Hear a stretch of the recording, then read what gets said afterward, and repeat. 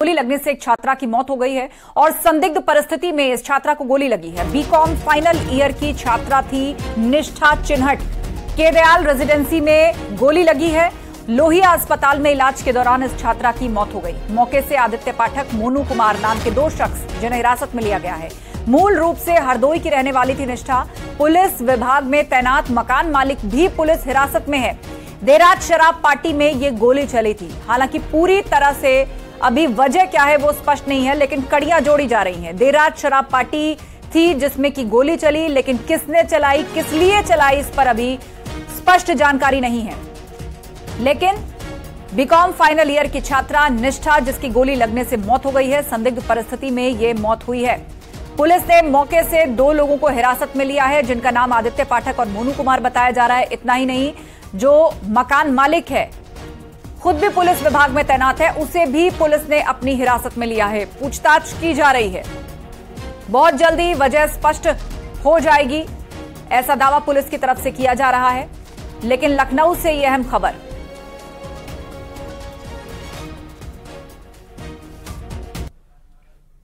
UP सरकार अवैध निर्माण पर अवैध बुलडोजर चलाकर उसे ध्वस्त कर रही है। हम आपको दो जगहों की तस्वीरें दिखाते हैं। ये तस्वीरें हैं बुलंदशहर और फिरोजाबाद की। बुलंदशहर में बीडीए ने अवैध रूप से बसाई जा रही दो कॉलोनियों पर बुलडोजर चलाया। 20 बीघा और 8 बीघा क्षेत्रफल में ये अवैध कॉलोनियाँ काटी जा रही थी। आरोप के मुताबिक खुर्जा इलाके में एनएच नाइन बाईपास पर अवैध रूप से अवैध कॉलोनियाँ बसाई जा रही थी। उधर फिरोजाबाद में स्मार्ट रोड चौड़ी करने के काम में बाधा बन रहे सामुदायिक शौचालय और बायोगैस प्लांट को ध्वस्त कर दिया गया। पीडब्ल्यूडी की ओर से यह कार्रवाई की गई है। दो तस्वीरें आपके सामने हैं। बुलडोजर कार्रवाई की गई है प्रशासन द्वारा। बुलंदशहर और फिरोजाबाद में प्रशासन का बुलडोजर चला है।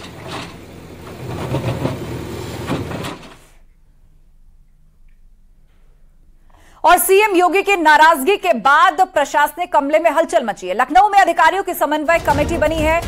एलडीए, नगर निगम, पीडब्ल्यूडी और एनएचएआई। इनके अधिकारियों की समन्वय समिति बनाई गई है। दिवाली तक शहर के सभी गड्ढे खत्म होंगे, ये दावा किया जा रहा है। जिलाधिकारी लखनऊ ने एक नंबर भी जारी किया है, जिस पर आम जनता अपने इलाकों के गड्ढों की तस्वीर और लोकेशन शेयर कर सकती है।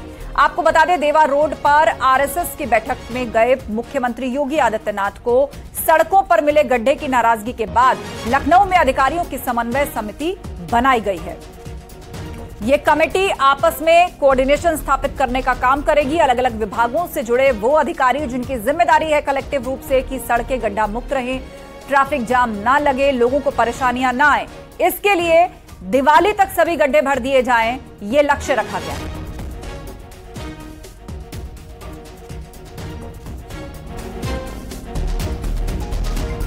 है जी आयोग से जान लेते हैं। सर, ये अभियान क्या है? क्या रोड मैप आप लोगों ने बनाया है? क्या कोई नंबर भी जारी किया जा रहा है, सर? लखनऊ में मल्टीपल एजेंसीज हैं जो कि रोड्स के निर्माण का और उनके रखरखाव का कार्य करते हैं। उनमें एक अंतर विभागीय कोऑर्डिनेशन जिला प्रशासन के स्तर से किया जा रहा है। सबसे पहले उन सभी सड़कों का सर्वे कराया जा रहा है, जहाँ पर कि गड्ढे हैं या जिनकी विशेष मरम्मत की आवश्यकता है। उसका सर्वे संबंधित एजेंसीज कर रही हैं। उसके अलावा इसके बाद जब अपनी कार्य योजना बनाकर यहाँ पर प्रस्तुत करेंगे जिससे कि माननीय मुख्यमंत्री जी द्वारा जो निर्देश दिए गए हैं कि दिवाली से पहले सभी सड़कों को आ, चलने योग्य गड्ढा मुक्त किया जा सके उस अभियान में सभी एजेंसियों के साथ में वार्ता हो चुकी है, उनके साथ मीटिंग हो गई है। कार्य योजना वो लोग बनाकर जल्दी से जल्दी अभी एक दो दिन में देंगे। एक कंट्रोल रूम स्थापित किया गया है, जिसमें नंबर्स जारी हो रहे हैं। ये numbers nine four five four four one six five double zero ये व्हाट्सएप नंबर है जो हम लोगों ने सर्कुलेट किया है।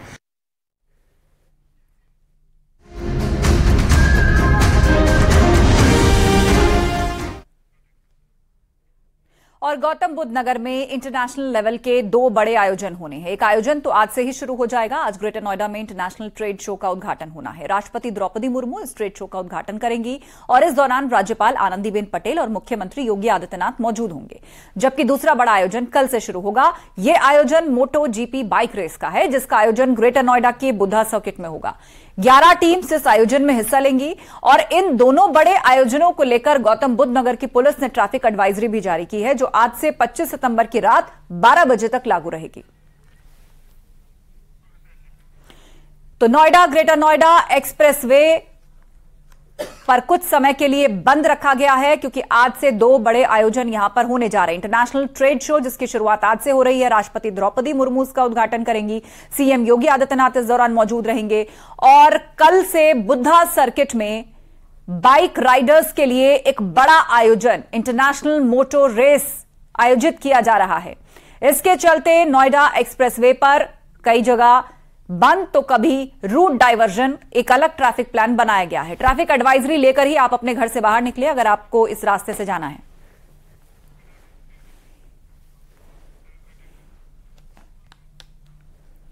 और गौतम बुद्ध नगर पुलिस की ये एडवाइजरी आपके लिए काफ़ी फ़ायदेमंद रहेगी। इस एडवाइजरी को लेकर अगर आप ध्यान रखेंगे तो यकीनन आपको कोई प्रॉब्लम नहीं होगी। अगर आप लखनऊ, आगरा से नोएडा की ओर आ रहे हैं तो ये एडवाइजरी आपको ज़रूर देखनी चाहिए। और अगर आप दिल्ली, नोएडा से मथुरा या फिर आगरा की ओर जाना चाहते हैं, तब भी आप इस एडवाइजरी को देखने के बाद ही घरों से निकले। नहीं तो आप रास्ते में परेशान हो सकते हैं। ग्रेटर नोएडा में पाँच दिन बड़े आयोजन होंगे, इक्कीस से पच्चीस सितंबर तक इंटरनेशनल ट्रेड शो का आयोजन। तो 22 से 24 सितंबर तक मोटो जीपी बाइक रेस का आयोजन और सभी तरह के मालवाहक वाहनों की एंट्री पर रोक रहेगी। दिल्ली से सभी मालवाहक वाहनों की एंट्री पर रोक रहेगी। नोएडा, ग्रेटर नोएडा एक्सप्रेसवे पूरी तरह से बंद होगा। यमुना एक्सप्रेसवे पर भी गाड़ियों की आवाजाही पर रोक लगाई गई है। इसके अलावा मथुरा, आगरा, लखनऊ के लिए नेशनल हाईवे से जाने की सलाह दी गई है। NH nine NH twenty four NH ninety one का इस्तेमाल करने की सलाह दी गई है। दिल्ली, गाजियाबाद, मेरठ, हापुड़ से निकलने की सलाह दी गई है और आगरा से अलीगढ़ होते हुए दिल्ली आने की एडवाइजरी जारी की गई है। लोगों से मेट्रो सेवा का इस्तेमाल करने की अपील की गई है कि वो मेट्रो का इस्तेमाल करें अगर उनका रूट मेट्रो को सूट करता है। इमरजेंसी ड्यूटी में तैनात गाड़ियों पर प्रतिबंध नहीं रहेगा। शहर की किसी भी सड़क पर ऑटो ई रिक्शा खड़े नहीं होंगे। आगरा से आने वाली बसें जो हैं, वो जेवर, खुर्जा होकर निकलेंगी। परिचौक से लखनऊ जाने वाली बसें दनकौर होकर गुजरेंगी। Botanical garden sector 148 delta 01 metro से शटल बस मिलेगी और हेल्पलाइन नंबर भी जारी किए गए हैं। उस पर भी फ़ोन करके आप जानकारी ले सकते हैं। वो भी हम अपनी स्क्रीन पर फ्लैश कर रहे हैं। और अब आपको सीधे लिए चलते हैं हमारी सहयोगी शीनम शर्मा हमारे साथ जुड़ रही हैं। शीनम, दो इंटरनेशनल लेवल के बड़े आयोजन नोएडा, ग्रेटर नोएडा में होने जा रहे हैं। आज से ट्रेड शो की शुरुआत हो रही है। कल से मोटो जीपी रेस का आयोजन किया जाएगा। इसे लेकर ट्रैफ़िक प्लान हमने विस्तार से बताया। लेकिन प्रशासनिक तैयारियाँ कैसी हैं? ये दोनों बड़े आयोजन आखिर कितने मायने रखते हैं प्रदेश और देश के लिए? क्या तैयारी? बिल्कुल, आस्था बहुत मायने रखते हैं और इसी मायने को ध्यान में रखते हुए बड़े लेवल पर इसका आयोजन किया गया है। यूपी इंटरनेशनल ट्रेड शो में इस वक्त मैं मौजूद हूँ और यहाँ की तस्वीर मैं आपको दिखाने जा रही हूँ, क्योंकि अलग अलग स्टॉल्स बनाए गए हैं। 2000 से ज़्यादा एग्जीबिटर्स यहाँ पर पहुँचे हुए हैं। फ़िलहाल ये जो है शुरुआत में जो सबसे पहले यहाँ पर स्टॉल लगाया गया है, वो है। लेकिन जैसे ही आप आगे बढ़ेंगे, आपको अलग अलग जिलों के उत्पाद भी देखने को मिलेंगे। यानी कि ओडीओपी की जो योजना है, उसे किस तरह से आगे बढ़ाना है, उसे किस तरह से रफ्तार देनी है, और वन ट्रिलियन इकोनॉमी बनाने का जो लक्ष्य उत्तर प्रदेश सरकार ने रखा है, उसे कैसे आगे बढ़ाना है, उसी दिशा में कदम उठाते हुए लगातार जो है इस तरह के आयोजन किए जाते रहे लेकिन ये किस, क्यों खास है, वो मैं आपको बता देती हूँ। ये देखिए, उत्तर प्रदेश की जो संस्कृति है, चाहे वो पूर्वांचल की हो, विध्यांचल की हो, बुंदेलखंड की हो अलग अलग संस्कृतियाँ, यानी कि पूरे उत्तर प्रदेश की झलक आज आपको एक ही छत के नीचे दिखने वाली है। अलग अलग जगहों की हम बात करें प्रोडक्ट्स भी होंगे, खाने की भी बात करेंगे फ़ूड कोर्ट भी होगा, वो भी मैं आपको थोड़ी देर में दिखाऊँगी। फार्मा की बात कर ले मेडिकल साइंस कितनी तरक्की कर चुका है, उसका भी एक स्टॉल यहाँ पर लगा है। ये देखिए आप जहाँ पर department of medical health and family welfare इससे पहले जो मैंने आपको दिखाया वो कल्चरल डिपार्टमेंट था। इसके अलावा स्वच्छ भारत मिशन, उड़ान नाम से भी एक स्टॉल लगाया गया है, यानी कि उस योजना को भी किस तरह से आगे बढ़ाना है, वो उस दिशा में भी एक कदम है। यहाँ पर हमारे साथ कुछ जो एग्जीबिटर्स हैं, वो हमारे साथ मौजूद हैं। आप बताइए, आप कहाँ से आए हैं, कहाँ से आपने ये स्टॉल लगाया है? जी, मेरा नाम दीपक कौशिक है और हम यहाँ यूपी मेडिकल वेलफेयर से हैं।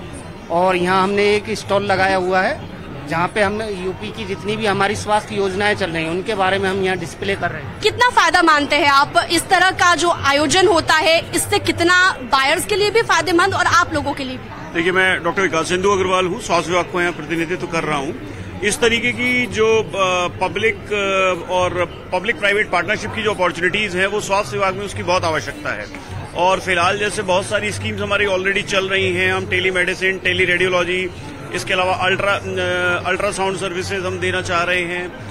देन जो हमारा डायलिसिस सर्विसेज़ है वो भी हम पब्लिक प्राइवेट पार्टनरशिप तो ये एक ऐसा प्लेटफॉर्म है जहाँ पे जो हमारे प्रोस्पेक्टिव इन्वेस्टर्स हैं उनको ये पता चल सकता है कि किन स्कीम्स में सरकार इंटरेस्टेड है इन्वेस्टमेंट में और हमको ये पता चल सकता है कि इनोवेटिव वो अपनी तरफ़ से क्या ऑफ़र कर सकते हैं। बिल्कुल। तो कह सकते हैं कि इस दिशा में भी एक कदम है क्योंकि मेडिकल साइंस जो तरक्की कर चुका है काफ़ी ज़्यादा लेकिन लोगों तक वो सुविधा पहुँचना बहुत ज़रूरी है। हेल्प डेस्क जगह जगह पर बनाए गए हैं ताकि अगर कोई दिक्कत होती है तो लोग यहाँ पर आएँगे। क्योंकि टाइमिंग की बात करूँ मैं आस्था तो टाइमिंग जो सुबह की टाइमिंग है, वो सिर्फ़ बिज़नेस पर्पज के लिए रखी गई है। बी टू बी और बी टू सी दोनों तरह का बिज़नेस यहाँ पर होने वाला है। यानी कि कंज्यूमर के लिए भी फ़ायदेमंद है और जो लोग बिज़नेस करते हैं, यानी कि जो उद्यमी है छोटे छोटे उनके लिए भी ये फ़ायदेमंद है। आगे बढ़ते हैं। अगला स्टॉल ये आप देखिए। Department of horticulture and food processing उसका भी एक यहाँ पर स्टॉल लगाया गया है। अलग अलग डिपार्टमेंट्स की तरफ़ से जो उत्तर प्रदेश के अलग अलग क्षेत्र हैं, किस तरह से उनमें विकास बढ़ रहा है, विकास की रफ्तार बढ़ रही है, उसे दिखाते हुए ये प्रोडक्ट्स हैं। और क्योंकि ये योजना जिसका मैंने ज़िक्र किया ओडीओपी हर एक डिस्ट्रिक्ट का अपना एक खास प्रोडक्ट होता है। खाने की चीज़ों की हम बात करें, क्योंकि फ़ूड प्रोसेसिंग डिपार्टमेंट के मैं पास थी तो मैं खाने की बातों का इसलिए ज़िक्र कर रही हूँ। आपने देखा होगा कि अलग अलग जगहों की एक खास तरह की मिठाई होती है या फिर कोई खास तरह की चीज़ होती है। जैसे मथुरा का पेड़ा हो गया, आगरा का पेठा हो गया। अगर हम कानपुर जाते हैं तो ठग्गू के लड्डू वहाँ पर काफ़ी मशहूर हैं, बदनाम कुल्फी है वहाँ की। तो वो सब चीज़ें भी आपको यहाँ पर दिखने वाली है। यहाँ पर देखिए, गाजियाबाद डेवलपमेंट अथॉरिटी की तरफ़ से भी एक स्टॉल लगाया गया है। यानी कि जो गाजियाबाद के प्रोडक्ट हैं, उन्हें भी अब न सिर्फ़ उत्तर प्रदेश में पहचान मिलेगी, बल्कि उत्तर प्रदेश के अलावा बाहर निकलकर देश में और विदेशों में भी, क्योंकि विदेशों से भी मेहमान आज यहाँ पर पहुँच रहे हैं। और विदेशों के मेहमानों की हम बात करें तो कहा जा रहा है कि 60 देशों के लगभग यहाँ पर बायर्स पहुँचने वाले हैं। इन्वेस्टमेंट उत्तर प्रदेश में अगर बढ़ेगा, ज़ाहिर है कि वन ट्रिलियन इकोनॉमी बनाने का जो लक्ष्य है सरकार का, उसे एक रफ्तार मिलेगी। कुछ लोगों से हम बात कर लेते हैं। आप बताइए यहाँ पर जिस तरह से गाजियाबाद के प्रोडक्ट्स को लेकर आपने यहाँ पर स्टॉल लगाया है। तो कितना फ़ायदेमंद मान रहे हैं इस तरह के इवेंट्स को? मैं राजेश कुमार सिंह हूँ सचिव हूँ गाजियाबाद विकास प्राधिकरण में। ये आवास एवं शहरी नियोजन विभाग का ये पंडाल है जिसमें गाजियाबाद मेरठ मुजफ्फरनगर हापुड़ पिलखुआ बुलंदसर और आवास विकास विभाग के स्टॉल लगे हुए हैं। सभी कौन कौन से प्रोडक्ट हैं जिन्हें रिप्रेजेंट किया जा रहा है? सभी लोगों ने मुख्य तौर पे वो योजनाएँ प्रदर्शित की हैं जो जनोपयोगी हैं जिनमें निर्धन लोगों को या अफोर्डेबल हाउसिंग का डिस्प्ले है प्रधानमंत्री आवास योजना का डिस्प्ले है। हम लोगों के यहाँ लगभग साढ़े तीन हज़ार आवास बन रहे हैं, जिसमें ढाई हज़ार आवास बनकर तैयार हैं। आवंटन सभी के लिए हो गया है और जल्दी हम उनको पोजेशन दे देंगे। ठीक है तो अगर आप आवास की खोज में हैं, यानी कि आप रहने के लिए अगर कोई हाउसिंग से रिलेटेड आपको प्रॉब्लम है तो वो भी आप पहुँच सकते हैं। बुलंदशहर डेवलपमेंट अथॉरिटी अलग अलग जिलों की एक अलग पहचान इससे बनेगी, क्योंकि फॉरेन से भी लोग आ रखे हैं फॉरेन से भी बायर्स आ रखे हैं तो उस लिहाज से हम काफ़ी महत्वपूर्ण इसे मान सकते हैं। अब जो इसका दूसरा किनारा है, वहाँ मैं आपको लिए चलती हूँ, क्योंकि दूसरी तरफ़ फ़ूड कोर्ट भी कहा जा रहा है कि उस तरफ़ फ़ूड कोर्ट है, और उसे भी हम थोड़ा एक्सप्लोर कर लेते हैं, क्योंकि आयुष डिपार्टमेंट आप देखिए जो आयुर्वेद है, उसका कितना महत्व है, और, आयुर्वेद, आयुष विभाग जो उत्तर प्रदेश का है आस्था आवाज़ मिल रही है आपको? जी जी बिल्कुल शीनम हम देख रहे हैं कि आप एक एक करके सारे स्टॉल्स दिखा रही हैं उनसे जुड़ी बातें कर रही हैं। ये देखिए लोगों से पूछ रही हैं क्या खासियत है। योगा योगा और आयुर्वेदा का जो महत्व है वो हम सबने देखा। और उस दिशा में योग गुरु बाबा रामदेव ने जो काम किया वो तो हमने देखा। लेकिन उत्तर प्रदेश का किस तरह से योगदान है? आप ये देखिए योगा के साथ साथ इनसे हम बातचीत भी कर लेते हैं। अपने स्टॉल के बारे में थोड़ा सा बताइए। ये स्टॉल आयुष आयुष विभाग उत्तर प्रदेश सरकार की तरफ़ से लगाया गया है, जिसमें कि हमारी जो पैथी हैं, आयुर्वेद, यूनानी, होम्योपैथी, सिद्धा, नेचुरोपैथी एंड योगा, इसका एक कंबाइंड स्टॉल है ये। यहाँ पर योगा की जानकारी दी जा रही है जो पंचकर्मा थेरेपी बिल्कुल बिल्कुल। तो उत्तर प्रदेश की इंटरनेशनल झलक जो है इस ट्रेड शो के माध्यम से मिलने जा रही है। और आप विस्तार से दिखा रही हैं कि यूपी की झलक अलग अलग क्षेत्रों विभागों और उनके स्टॉल्स के माध्यम से सामने रखी जा रही है। बहुत शुक्रिया शीनम अपडेट के लिए। एक छोटे से ब्रेक का वक्त है। जल्द लौटेंगे कहीं मत जाइएगा।